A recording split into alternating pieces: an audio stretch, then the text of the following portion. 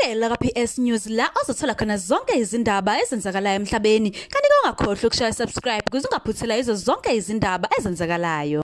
Ngiphinde nginamukele kwezanamuhla lwelihleli naye uPrumi Shamase.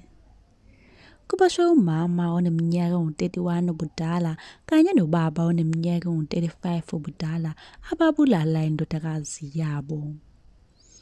Eweni labathakathi Limpopo Makgoweng Village esekhukhune amaphoyisa-ke ase-Kgohlou abophe-ke izithandani ezidabuka ezweni lendlala eMozambique zibulala-ke indodakazi yazo ena 8 iminyaka ubudala.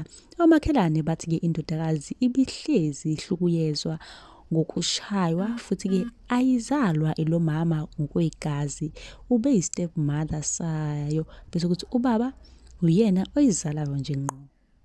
Labuhlungu kakhulu-ke lolu daba mlaleli kodwa ngizocela-ke nawe ukuthi-ke ubeke umbono la e-comment section ukuthi-ke nathi njengabantu-ke sithandana nje yini mhlampe kumele sibonisane nayo uma kuwukuthi-ke usuhlukene nalo obuthandana naye usele nengane eyodwa ikuphi-ke kumele-ke ukukhulume nalo noma ikuphi okumele bekukhulume noma-ke thina njengomphakathi singabaluleka kanjani labantu-ke abasesimeni esikanjeni noma-ke ingane engaphansi-ke kwalesi simo sokuhlukumezeka njengoba kushiwo ukuthi ibihlezi ikhala njalo kusho ukuthi baze bathathe isinqumo sokuthi yeyi asiyibulale le ngane okungasiyona-ke into enhle leyo. Siyazi-ke sonke ukuthi kuyinto-ke ebuhlungu ngendlela eyisimanga. Mlaleli ungasabi ukubeka umbono wakho la kwi-comment section ungitshele ukuthi wena uthini ngalolu daba.